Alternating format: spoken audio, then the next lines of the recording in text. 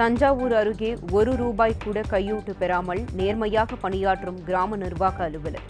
செந்தில்குமாரின் பிறந்த நாளை கேக் வெட்டியும் மரக்கன்று நட்டும் கொண்டாடி மகிழும் கிராம மக்கள்